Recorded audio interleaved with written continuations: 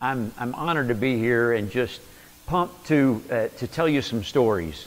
Uh, you know, my, uh, uh, I don't have any kind of a written speech out. I have a lot of stories I want to uh, touch base with you uh, or tell you about, and then it's my hope that I'll leave time at the end that you can ask me questions so that I can, you know, respond to what it is that you want to hear about or what you think I might be leaving out uh, of this story.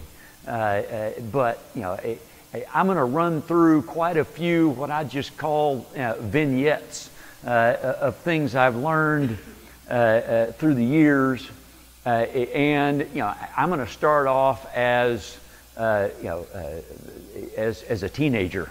You know, as a high school kid, you know, living in Tomball outside of Houston, Texas, yeah, and um, I'll say that you know uh, I grew really quickly in business, uh, and a lot of people ask me why in the world or how was I willing to take such big risks, and and you know uh, uh how did I pull off all these things? Uh, and as I look back at that, I uh, I look back to my high school years, and I would tell you that you know, I, I went through drug uh, rehab twice uh, in high school, uh, and uh, you know, once as a sophomore. Uh, you know, as as soon as I got my car, I got freedom, and I was off to the races. You know, you know, no pun intended. but you know, I I was a, a, challenge seeker. I was an adventure seeker, and uh, uh, you know, uh, uh, let's just say I was having a lot of fun. Uh, and um, you know, my my parents caught wind of it, sent me to treatment. I you know I went through treatment, and then I went to a halfway house in Baton Rouge, Louisiana, for all summer long. And then I came back to Tomball for my junior year of high school, uh, uh about three months uh, uh, there. Long story short, I got back into it, and I got busted again by my parents and shipped off this time to Oklahoma City. Uh, and you know, I started kindergarten when I was six. My birthday's in August. They had the choice of what to do, so I, you know, I started kindergarten when I was six we decided as a family that it was I was better off not to move back to Houston. So even though the family was all in Houston, you know, I decided to uh, stay in Oklahoma City. So uh, as a senior in high school, uh, I was my own legal guardian in Oklahoma City, and I got an apartment in Oklahoma City in whatever school district I chose to go to. And uh, you know, that wasn't a big deal to me when I was a kid now that I've had kids that have all, you know, been through that, it blows me away. You know, I, I, I can't imagine either of my children uh, being, you know, uh, in a different state, their own legal guardian, living on their own for their senior year of high school. Uh, but that was me. And, uh, uh, you know, I look back on that time very fondly. I'm sure my parents don't. but I look back at it as a very, uh, a very fond uh, time, uh, and I believe that that extreme independence that I had at a really early age kind of established me as being different than everybody else. Uh, I, I, had comfort being different than everybody else, uh, and I had comfort that, you know, uh, I had comfort in betting on myself I had comfort in my work ethic, uh, uh, and uh, it just kind of set the tone for me for you know uh, not only my whole college career but my whole professional career, maybe even uh, my whole racing career. And so I look back at those times. You know, quite frankly, I look back at my kids' times and I feel like I have fallen short because they, life has been too easy for them you know, every time something gets tough, I tell my wife, don't worry about it. You know, they need these rough times. Uh, uh, but I feel like those times for me uh, uh were very, uh, uh, uh, you know, uh, forming of my willingness to be independent and willingness to be on my own and confidence in you know, uh, my ability to uh, be successful. Uh, it, so that's kind of where it starts. I'm going to go off on three racing stories with a little theme to the story, and then a, a, few business stories. But you know, it, Kyle talked about Le Mans. Uh, you know, I've been. You talked about the you know Ford versus Ferrari movie. I feel like I have lived that movie. You know, in 20 in the last six years at Le Mans, uh, I have been on the podium five out of six times. Uh, I believe that every car in that race is a long shot. I don't believe, believe like there's anything as a favorite because in each one of those years, there have been at least 25 cars in my class, and uh, there's so much out of your control that you know over 24 hours anything can happen, uh, and I feel like there, uh, it's unreasonable to expect that you're going to do well, uh, and it seems outrageous to me that we've done that well. But in 2018, I got third place in Le Mans in a Ferrari. In 2019, uh, I got the opportunity to I'm a third generation Ford dealer. So I, I, grew up as a Ford dealer's son, and I, my first dealership was a Ford dealer. My grandfather was a Ford dealer. He had five kids, four of them became Ford dealers. So we I grew up with extremely deep Ford roots. And, you know, I, I grew up as a racing driver driving Vipers. Uh, uh, and uh, so it was a big deal. Yeah, I'm, I'm cutting to the chase here and saying it was a big deal when Ford came to me and said, you know, we would allow you to buy one of our Ford, our factory racing Ford GTs if you race it at Le Mans. Uh, it was, you know, the price was way too high. Uh, it was outrageously expensive, but I chose to do it because of all the deep connections that I had uh, with Ford. And, uh, and so in 2019, uh, I, I, raced the Ford GT, and uh, you know, I'll just say that the the ACO is the governing body for the 24 Hours of Le Mans. Uh, they had a rough history with Ford, you know, back a few years earlier in, I think it was 2016. Uh, it was the first year that the new Ford GTs had come back. They won Le Mans uh, uh based on uh, playing the political game. They were way faster than all the other competitors. The ACO felt burned by them from four years earlier and so since that time period, they'd slowed them all down. And so the Ford GT was not the fastest car there. Uh, and so going into the race, I did not feel like we had an opportunity to win. And so we were trying to do every last little marginal gain that we could, uh, uh, we could have. And you know, now that the program's dead and gone, I can kind of tell some of those stories. But uh, you know, the uh, the ACO uh, gives you a certain amount of fuel allotment, and uh, we were allotted 96 liters of fuel in our fuel cell. A fuel cell is a metal box with a rubber bladder inside of it, and we were allowed 96 liters. We'd set up our engine during all the testing to burn as much fuel as possible. So the computer was burning as much fuel as possible. Every way we could burn fuel, we were burning fuel because we knew the ACO was measuring it, and that's what they were going to give us fuel mileage based off of. And uh, uh, when we got into the race, we uh, uh, uh, we got we got really lean. When you run the engine leaner, you get more power. So everything was good. We had more power. We were uh, and we had more fuel capacity. But the reason that's important is because Ganassi, who had worked with Ford on this particular car, had designed a fuel cell that filled really quickly to uh, 90% and very slowly for the last 10%. And we were only you know, uh, required to be stopped for long enough that a full fuel, when they plugged in the fueling rig to the car, full fuel took 35 seconds.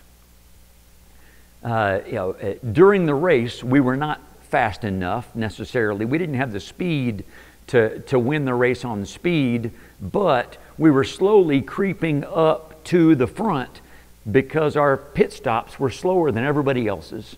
Uh, and they were slower, I mean, sorry, faster. We were about six seconds faster than everybody else, uh, uh, and the ACO didn't know why. Now I can tell you that we were only putting in 90% of the fuel uh, uh, that we needed in the tank because now that's all we needed to be able to do our 14 laps. And so we were making six seconds up on every single stop that we came in on. But according to the way it looked to the ACO, we were breaking the rules. Uh, and so uh, yeah, I'm going to cut to the chase and say, miraculously, based on our strategy, we won the race. Uh, and so our first win in 2019 uh, uh, was in the Ford GT. Uh, it was super special. I got to celebrate with Bill Ford and Jim Farley, and, and it was just a really special moment for us. I flew home on uh, leaving on Monday uh, or Sunday night and arriving back at home on Monday. And I got a call when I arrived at Houston Intercontinental Airport that said, I'm sorry, Ben, but they've just disqualified the car. Uh, and so if you've watched the Ford versus Ferrari movie, uh, uh you remember, you know, uh, Ken Miles wins the race and you know he held back for the photographic opportunity when they crossed the line and at the end of the race they say well you you know you didn't really win because the other guy traveled further because he started further back. Anyway you know uh, uh, uh, nobody understands how he feels the way we understand the way he feels. You know uh, uh, you you had the you know i think of the i think it was ABC Wide World of Sports when I was a kid. You know, you watch the, the ski the skier you know wreck going down uh, the slalom where they talk about the thrill of victory and the agony of defeat. You know, that's how I felt. Uh, uh, and um, uh, kind of the, the, the moral of this story or the theme of this story is everybody in the racing world, especially in the Ford world, and, and none more so than Bill Ford, felt like the, the, uh, the French were out to get us. Uh, it felt like this was, you know, retribution for uh, still for what Ford did in 2016. Uh, and uh, uh, it, it, they were really angry. Every time the media interviewed me about it all, uh, uh, I did not feel that way. Uh, and the reason I didn't feel that way is because uh, I was involved in the engineering decision to put our fuel cell exactly at 96 liters. Uh, you know, uh, our engineering team wanted to leave a little margin for error in the size of our fuel cell I didn't feel like we had any margin to give because we weren't fast enough. And I made the decision, or I was part of the decision, to set it right at 96 liters. Uh, we were disqualified because during the race our fuel cell expanded by, you know, I think this is 500 milliliters. It expanded by about that much of what I have left, of 400 milliliters. So we had 96.4 liters in the tank. And the rules, before we started the race, the rules clearly say if you have more than 100 milliliters uh, more capacity at the end of the race, then the penalty is, is disqualification. I was part of that decision. The rules were made before the race. They might have been out to get me, but if that's true, we made it way too easy for them. Uh, uh, and so it was really easy for me to take ownership of that disqualification. Uh, and uh, you know, that's kind of what I take from the 2019 Le Mans experience. It was an incredible experience on Sunday. It was an unbelievably hard experience on Monday, uh, but uh, uh, it, it, I don't have a problem with it. And uh, it, it's mostly because I'm able to take ownership of the decisions that we made and what happened. You know, I, I don't feel like you know uh, anybody was out to get me. Uh, interestingly enough, I had a really difficult Daytona 24-hour race this year, uh, and uh, I felt like we made, you know, my team made a big uh, strategy mistake in the middle of the race, uh, and you know, we had a, a heart-to-heart after that race where I, I, I explained to them that I'm really into that type of stuff. Uh, and I'm a, I think I'm a really good resource. And uh, I wish they would have talked to me about that uh, because, you know, I might have made the same decision we, that you guys made, but if I'm a part of the decision, that I get to take ownership of it. If, if you don't involve me, then it's all your fault. You know, uh, uh, so uh, it was just a nice opportunity to be able to take ownership of that tough situation because I was involved in the conversation. Uh, fast forward to uh, uh, 2022, 24 hours of Le Mans. and, um, you know, you know, 2019 we won in the Ford GT, got disqualified the next day. You know, uh, 2020 I, I, did Le Mans in a Porsche. We had a terrible race. Uh, uh, 2021 I was in an Aston Martin. Uh, we got second place, uh, and we were, you know, eh, I'll just say I feel like we were unlucky in getting second place. In 2022 was in an Aston Martin, and uh, uh, uh, we thought we had really good speed. We qualified uh, in, in qualification, hey, just so I can help kind of monitor my timeline. Uh, uh, when did I start? How much time do I have? Okay, thank you. so, um, I'll just say we, I won't go through that story. I'll say we qualified 19th. Uh, nobody has ever won Le Mans from as far back as 19th place. Uh, and uh, we felt like we were going to be fine because we felt like we had the speed. We felt like we had left enough speed in our, in our back pocket.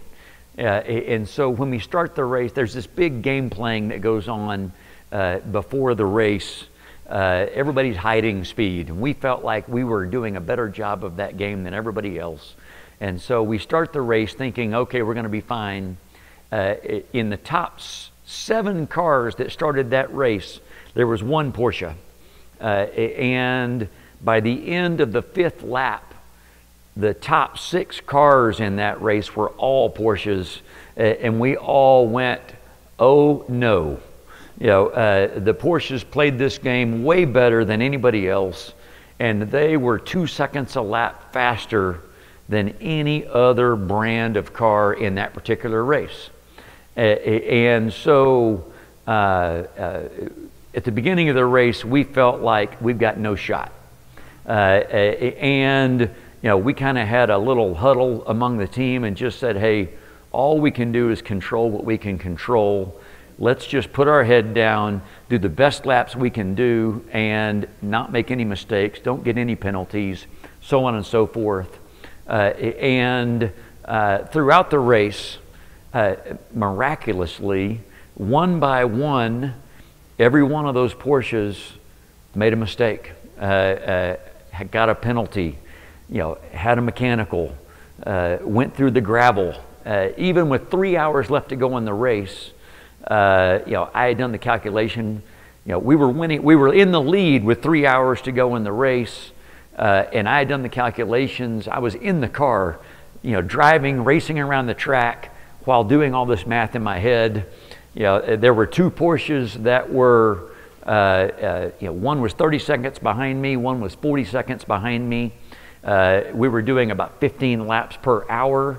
They're two seconds a lap faster than us it's pretty easy to say that, you know, there are three hours left in the race, they're going to pass us. You know, eh, I was looking at it going, the best we can hope for in this race is third place, uh, even with three hours left to go, even though we were leading. And, uh, you know, I got out of the car with one hour left to go in the race, and I look up at timing and scoring, and, uh, you know, we're in first place by 39 seconds. and I'm, you know, I'm, you know, everybody's, you know, congratulating me on what we've done. I'm going around going, what in the world happened? Well, it turns out, you know, uh, one of the Porsches, the Porsches were, even though they were fast, they were difficult to drive. And uh, trying to catch up to us in the Aston Martin, one of the drivers had made a mistake. uh, and take a big trip through the gravel. And they had an unplanned pit stop as a result. Uh, uh the, uh, the other Porsche had a mechanical gremlin, uh, an electrical gremlin that popped up at the end of the race, and they had to come into the garage and fix it. and so, long story short, we ended up winning that race. Uh, which was a huge deal for lots of reasons. Uh, uh, you know, number one, because we didn't think we had a shot. Number two, because for me personally, you know, it, it, was a little bit of redemption on 2019. you know, not not redemption of getting back the series for screwing me because I didn't think that's what had happened. That's the way the media portrayed it. But for me, it was redemption in in proving to myself that I belong to be there. You know, uh, that the first one time wasn't a fluke. Uh, uh, but uh, what really was special about that win that year is that we didn't win on pace. We didn't win on speed. Uh, we won because we did everything in the right way. Uh, we had a clean race. We had no penalties. We had no mistakes. We had no bad pit stops. It, it was an incredible team win. And it's one of those deals where you feel like if you do everything the right way, you ought to be rewarded. And that's one of the only times in racing where I can say I feel like, man, we won the biggest race in the world because we were rewarded for doing everything in the right way. Uh, the, the, the big story there to me was that we did well just on the areas, we controlled what we could control we can't control what the other teams are doing. We can't control the speed of the other cars. And we're just like, don't worry about them. Just do what we can do and do the best job we can of it. Uh, and it was an incredible win for us. Uh, based on those results, so as you know, I'm a car dealer, I'm a car racer. I've always tried to race what I sell. I don't sell Aston Martins. I was very successful in the Aston Martin. Uh, uh we won the world championship in 2022 uh, and Le Mans there. And so it was a great car. They really wanted me to drive for them again.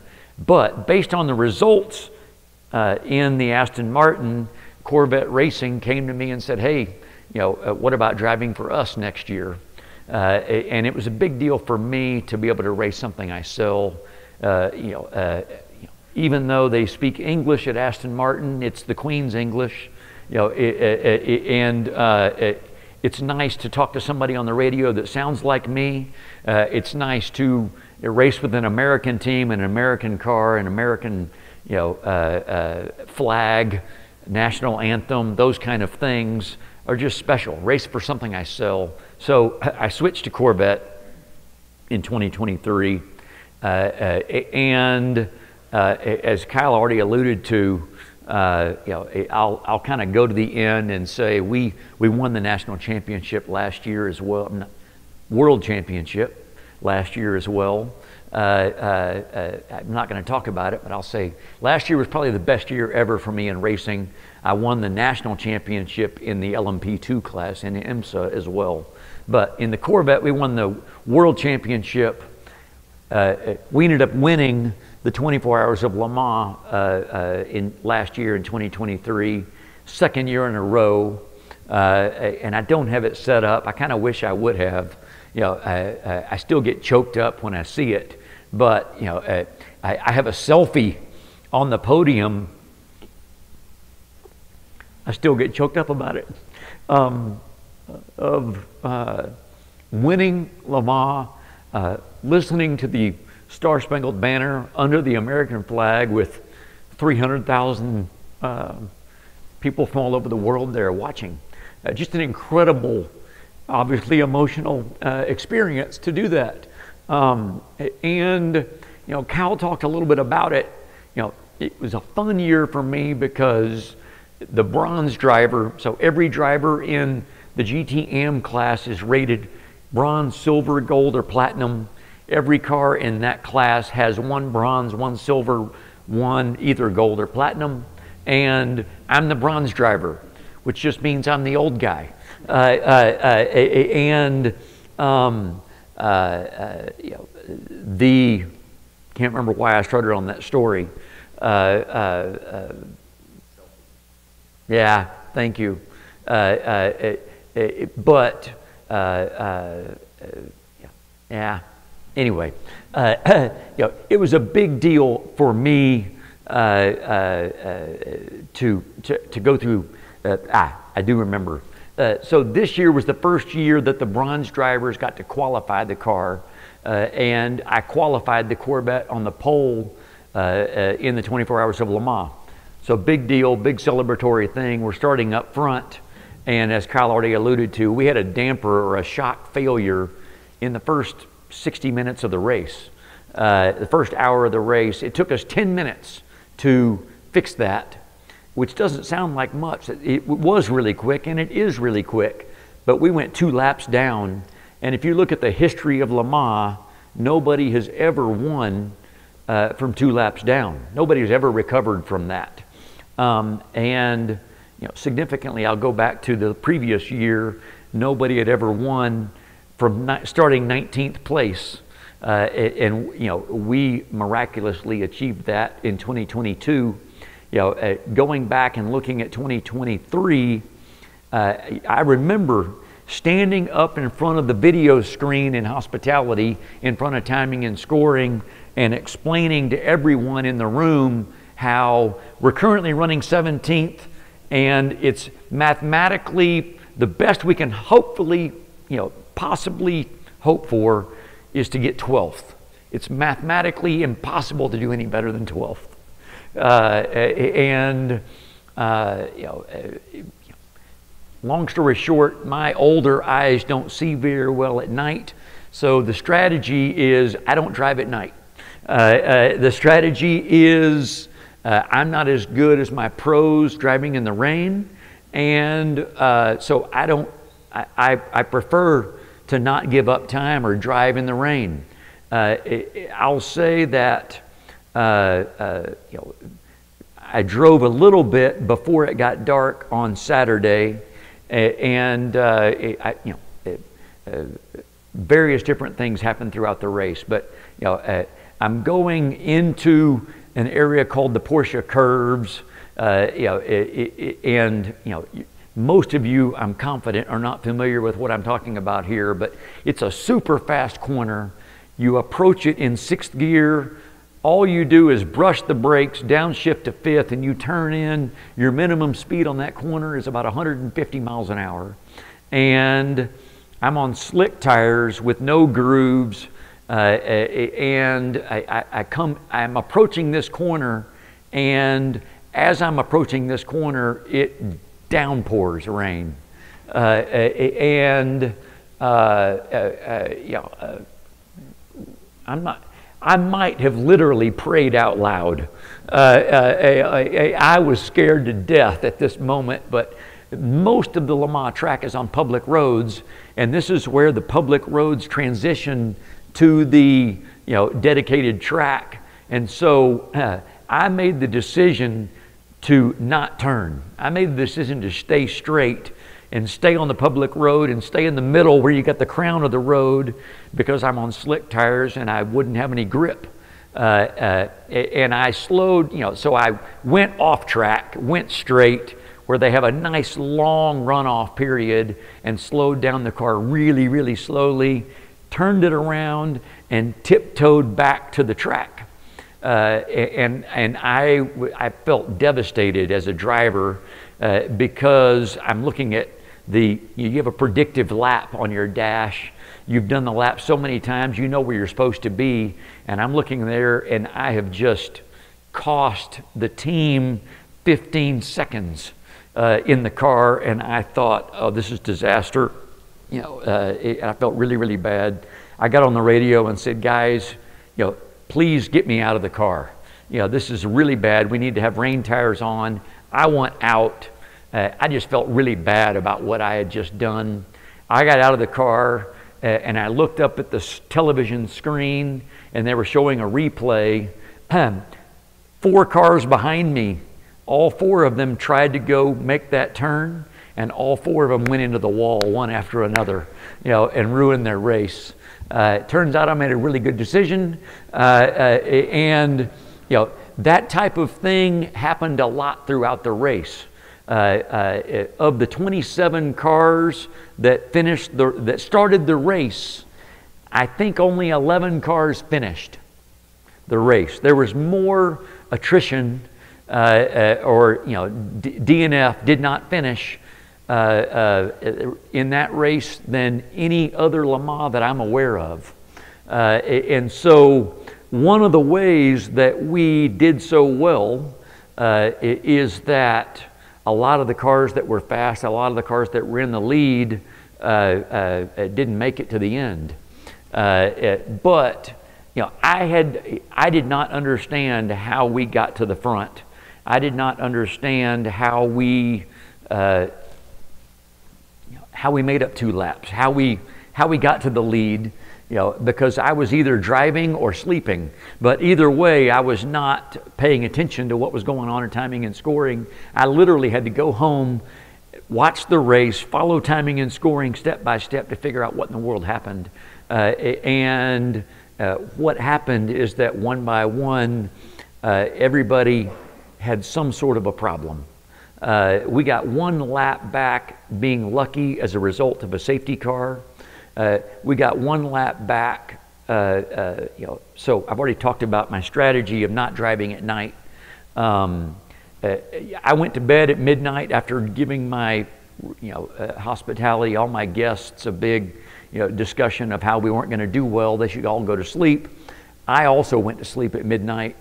At 1 a.m., they came banging on my door and said, "We need you in the car right now." Uh, I, I, didn't know what happened, but I threw on my racing clothes and ran down there and got in the car uh, at 2 a.m. Again, realizing that this is way off strategy. I'm not going to be on pace. You know, uh, why in the world am I in this situation? I don't know, but I'm just going to do my job. Uh, and um, turns out Nico, uh, who was 22 year old guy from Argentina, when he woke up at one to get into the car, walking downstairs, uh, uh, you know, uh, fainted, passed out, blacked out in the stairwell, fell down the stairway well and was unconscious. Uh, so they sent him to the medical center, and they needed a driver. So you know, I got in the car. I drove from 2 a.m. to 5 a.m.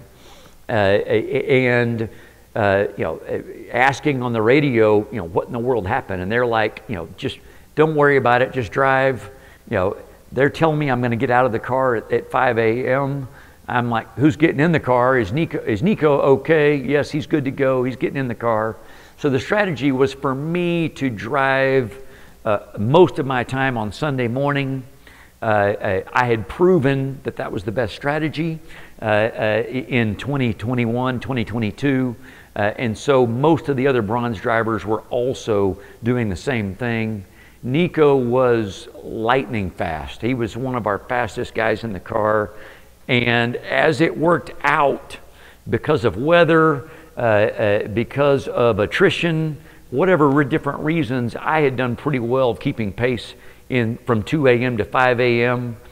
Then in the morning, on Sunday morning, that's what, at Le Mans, that's what they call happy hour uh, because it's when the air is coolest and the track is coolest, and when it's cool, uh, the cars have more power and they're faster.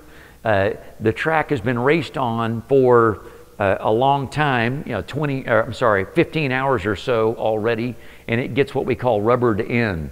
The pavement gets rubber on it, and the track becomes faster and it becomes daylight. So you can see what's going on, take a little bit more risk. And so that's happy hour. That's when the fastest laps are done, usually is on Sunday morning.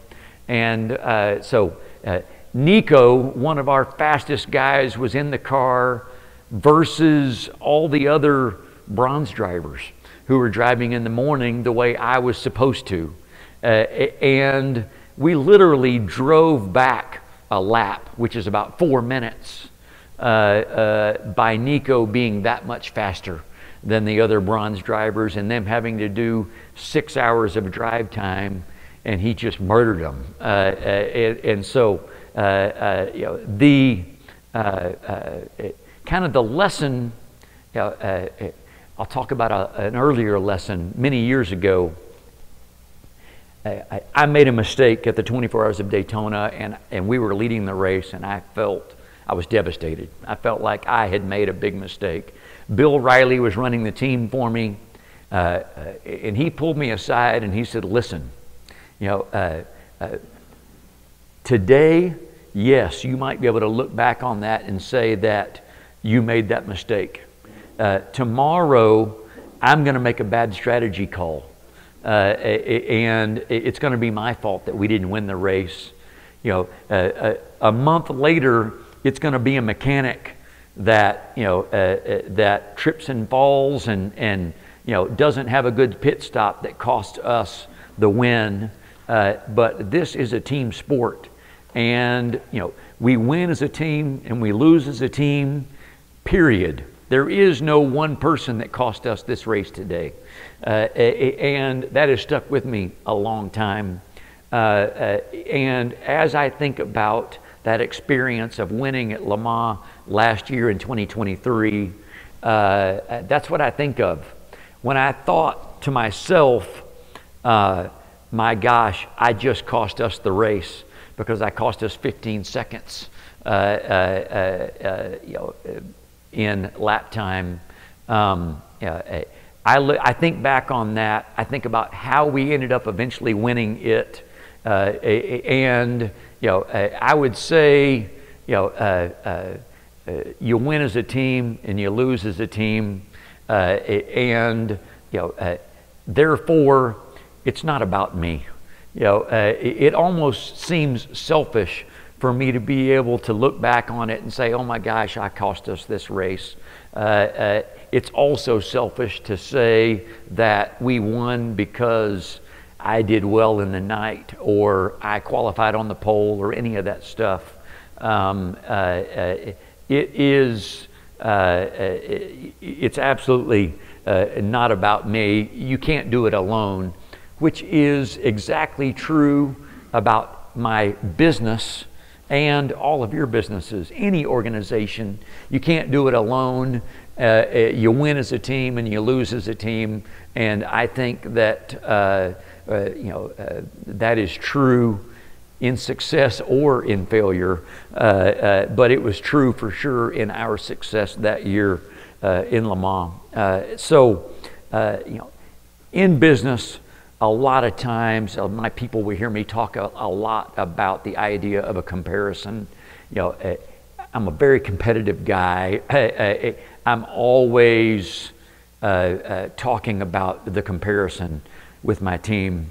Uh, you know, I, I, like to tell the story. I'm sure many of you are familiar with it, but or some version of it. But I like to talk about two hikers hiking through the forest. They come into an opening in the mountains. They look across there, and there's a big bear. And the bear stands up and you know, looks at them and you know starts coming towards them one hiker takes off his backpack, starts taking off his boots and putting on his trail running shoes.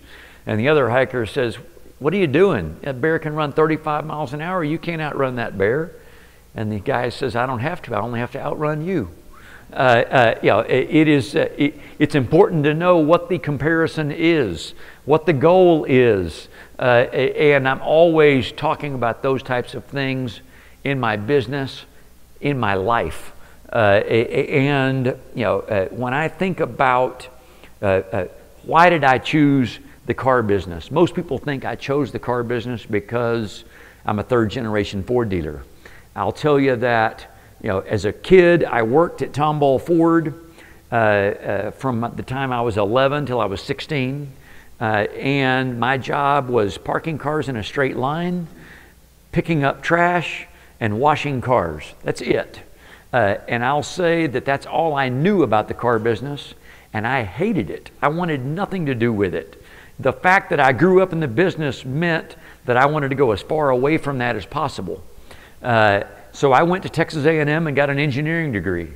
Uh, I chose engineering because I was really good at solving problems and not very good at writing papers. Uh, uh, and so I just decided that was the way to go, uh, and I was going to do something other than the car business. Um, I ended up doing an internship in between my junior and senior year for an insurance company that that, that did a lot of business with car dealerships. Their in for doing business with car dealerships was training. Uh, and so I ended up going through, you know, part of my internship was being a fly on the wall, you know, the, the making copies or whatever with the trainers as they went into a different car dealership every week all summer long. Uh, so I spent about six weeks of my summer, not the whole internship, but about six weeks of it was going in and out of car dealerships. And uh, uh, uh, I'll, I can now easily admit that I was you know, uh, uh, full of myself and a know it all college kid. I felt like I knew something when I really didn't. But uh, as I went through each one of these dealerships, I uh, eh, two things that are important. Number one, uh, uh these guys were making pretty good money, uh, uh, and I'd never, you know, I'd never been privy to that. I, would never understood that, you know, owning a business or being in the car business, have, you know, you could make that kind of money. Number two, most of these people, almost all of the people that we were going in and, and, and, and working with, I thought they were doing a terrible job of running their business. Uh, I knew that the business was super competitive. Uh, and you know, all of my dad, my aunts, uncles, all they talked about how was how tough it was, uh, and how competitive it was. And I'm looking at this as a know it all college kid and saying, you know, these guys are doing a terrible job of running their business. Uh, uh, this does not look tough to me. You know, I can run circles around these guys because I can run the business better than they can. Therefore, this just looks like a giant opportunity. And that's what made me decide to get into the car business. Uh, uh and I'll say that I got into the car business all based off the idea of the comparison that, you know, uh, uh, I felt like I could outrun the other hikers. Uh, and so, uh, you know, I ended up telling my wife to get a job anywhere USA. She went to work for Dell. I'm already out of time. Not yet.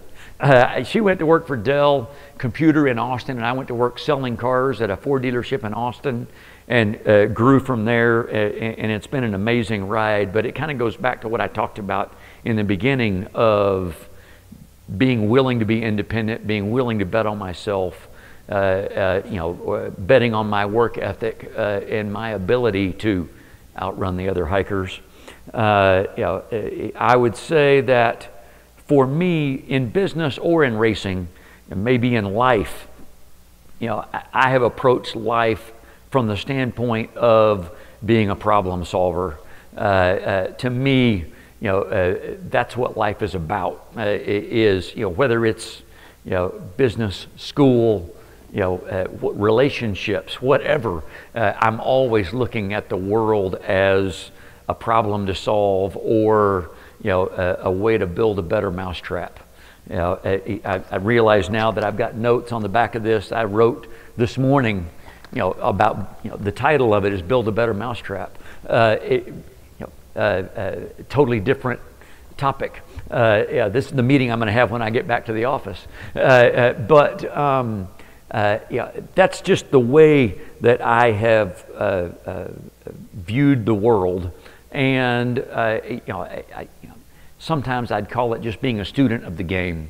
and you know, the way I grew so much when I first got started was being so heavily involved and being a student of the game, trying to figure out how to build a better mousetrap. And I really feel like when I first got into the industry, I first became a manager in the car business in 96. Five years later, I got the opportunity to buy a small Ford store in a town of 10,000 people that had gone broke twice in seven years prior to that. Nobody wanted it, so it was really, really cheap, uh, uh and I didn't have any money. Uh, uh, so, uh, you know, any long story short, put all that together, and a big reason for our success was that I had always made these kind of notes, you know, all through my career of, you know, uh, what's wrong with the way we're currently doing it, it if I was going to do it differently, what would I, you know, if I was going to do it myself, what would I do differently? And I, I, I built a model that didn't exist prior to that. Uh, it does now everywhere. Now I kind of feel like we're all old school. But uh, know, the back then it was all new and fresh from the idea of the way we were advertising, the way we were, you know, uh, uh, uh you know, uh, handling our pay plans, handling our approach to the customers. I mean, everything about we, the way we approached the business was new and different. Uh, and uh, uh, I feel like we had built a better mousetrap uh, and done a great job of problem solving. And, you know, I mean, I'm, you know, being the keynote speaker here, I'm not obligated to give any kind of a plug to Max Connect. Uh, uh, but, uh, but I will because you know, I think it's interesting you know, uh, to say that uh, you know, uh, I own my own ad agency.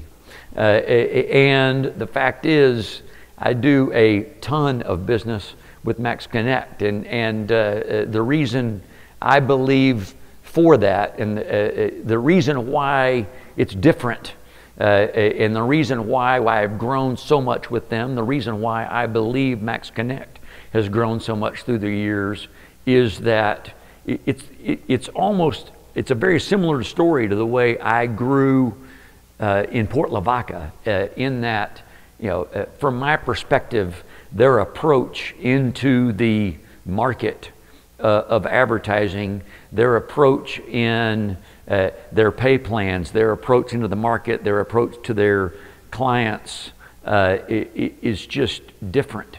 And it is, I love that idea. I, I, love building a better mousetrap. I love problem solving. and, you know,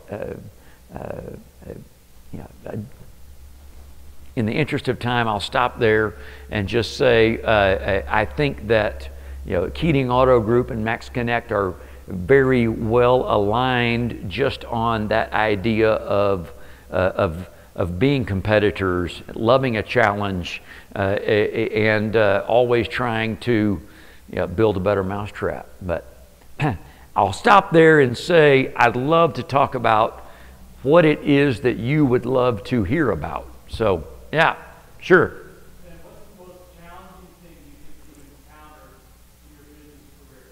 Whew. Uh, uh, uh, uh, so there are a lot of them. The first thing that comes to mind for me is that, as I said, I did not have any money, uh, uh, and um, you know, I, I, when you buy a car dealership, you have to, you know, come up with a certain amount of equity, operating capital, those kind of things. You have to prove to the manufacturer that it's unencumbered. Uh, uh, you know, the fact is, I borrowed 300 grand from my grandfather, uh, uh, uh and uh, I mean, I guess I, am comfortable admitting it now, but I, I took it to Crosby State. I took it to the local bank. I opened a CD with the money on Monday.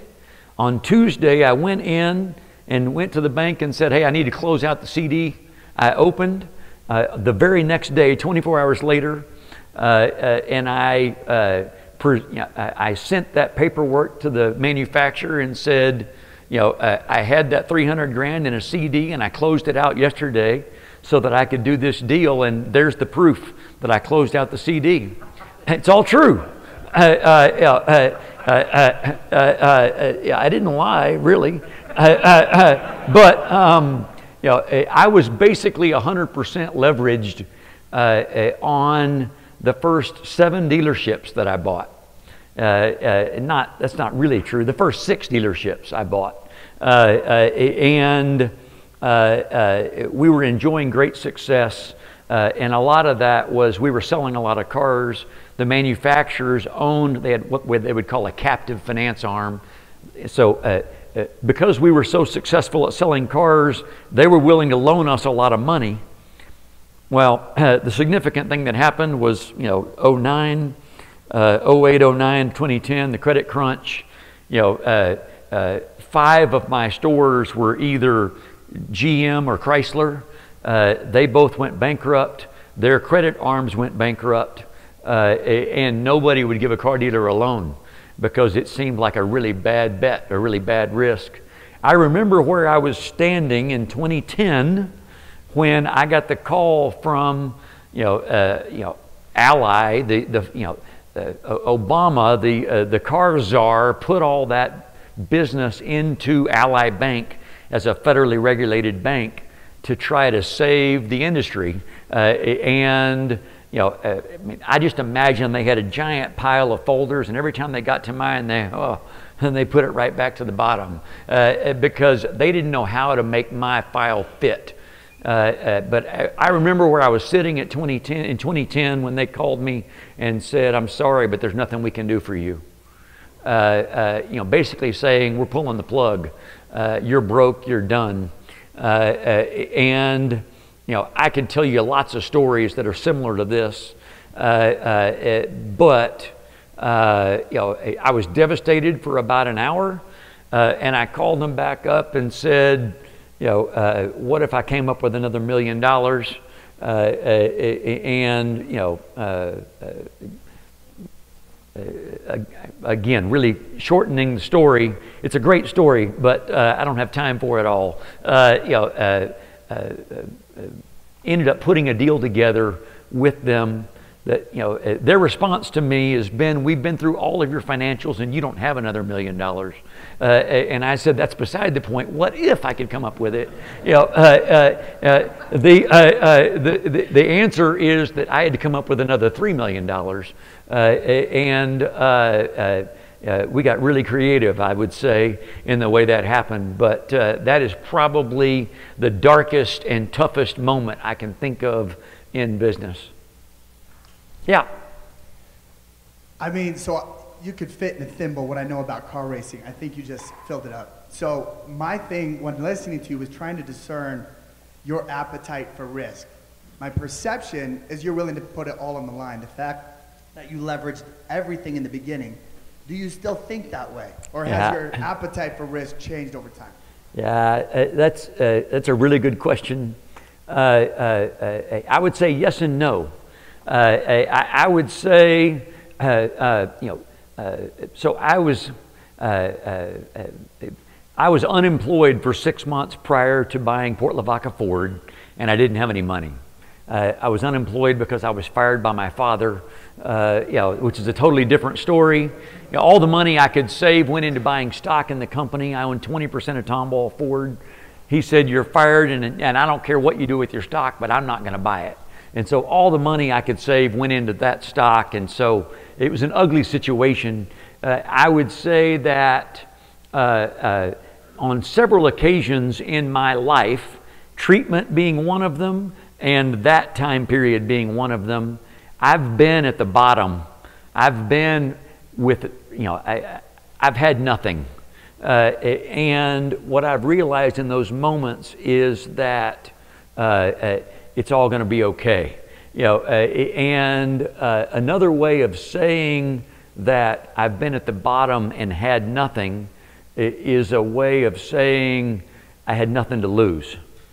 So uh, there's no difference between having nothing and having nothing to lose. Uh, and you know, at that point in time, when people ask me about taking risk, I would say, you know, i you know, I think of the old Janis Joplin remake of Me and My Bobby McGee. Freedom is just another word for nothing left to lose. Uh, uh, it, I understand that more than most people uh, uh, because I have been in that situation where I've had nothing left to lose, and that gives you tremendous freedom. Uh, uh, and so I was willing to take a lot of risk early on. I had nothing to lose. Uh, I, I, I, had been to the bottom. It's not that bad. I have faith in my uh, work ethic, my ability to, uh, uh, to figure out how to make ends meet. I'm going to be okay. and so that's why I took all those risks.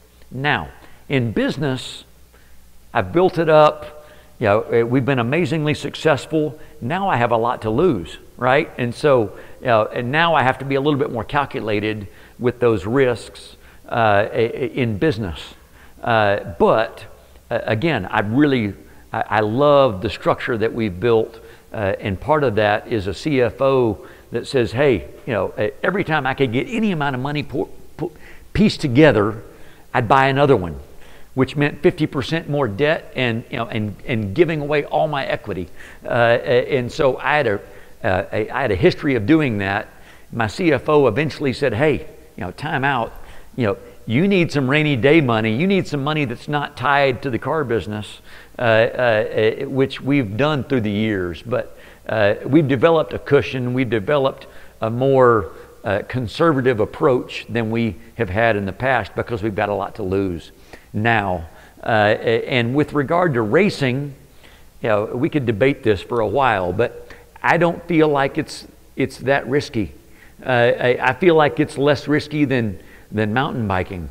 Uh, uh, you know, and what I mean by that is, you know, I've had a lot of wrecks, but you know, everything about the racetrack is designed to handle a wreck Everything about the car is designed to handle a wreck. Everything about, you know, I've got all the safety gear you could possibly imagine.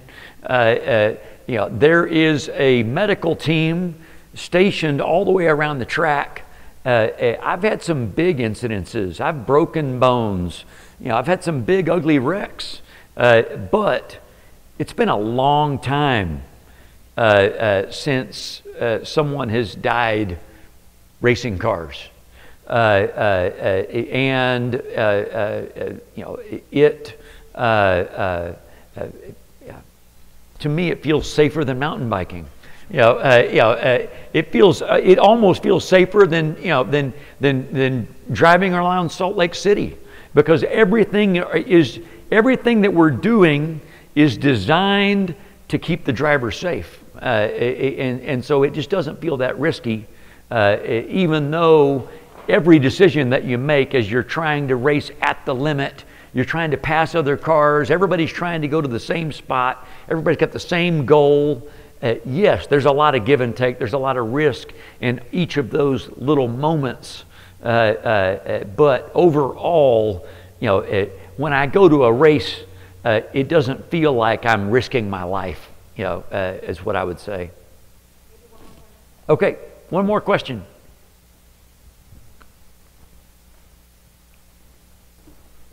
Yeah.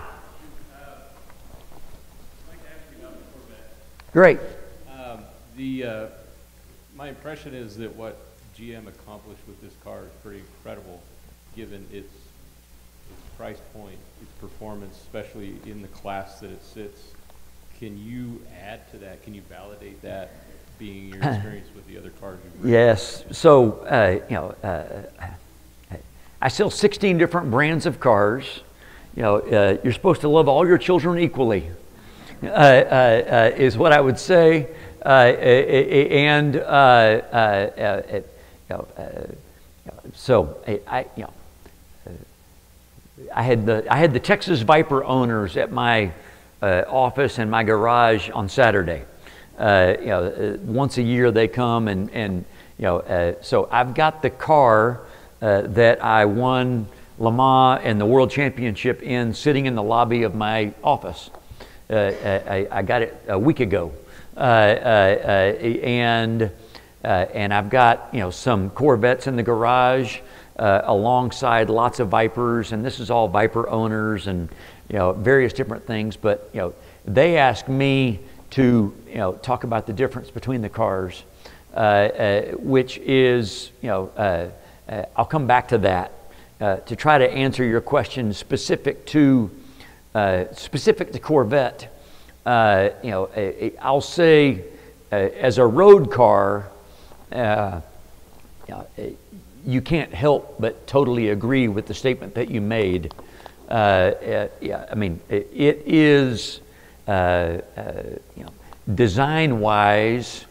I, I think anybody would be hard pressed not to agree that it is competitive with any of the, you know, uh, uh, any, you know, 10 different luxury, you know, sports car uh, brands out there.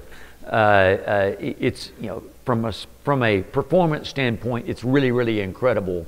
But what's really incredible to me and to most of the consumers out there is the price point that you talked about.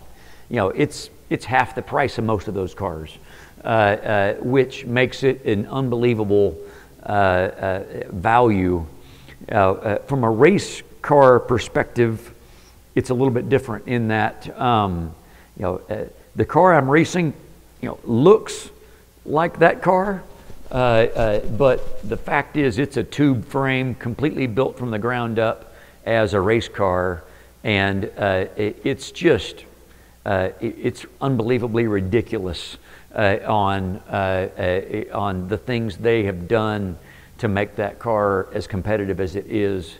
It's a fine piece of machinery is what I would just say. I mean, it's, you know, I could, you know, uh, even having all the Viper owners there on Sun, uh, Saturday, I mean, I, you know, I, I I took off a lot of the body parts and I talked about all the little things that they did to that car that make it special uh, because it's very special. Uh, uh, you know, a lot of that stuff is, you know, they try to bring it over into the road car. Not it, a lot of it is not necessarily, you know, realistic, uh, uh, but a lot of it does transfer.